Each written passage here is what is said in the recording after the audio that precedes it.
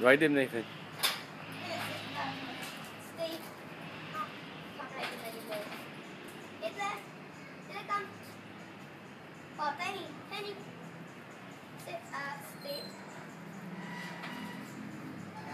You. Up. Oh. Ride Hitler because Tiny can't carry you. Yes. Hitler, come. Bessie, shut it, please. Hitler, come. Which way should I go then? Up.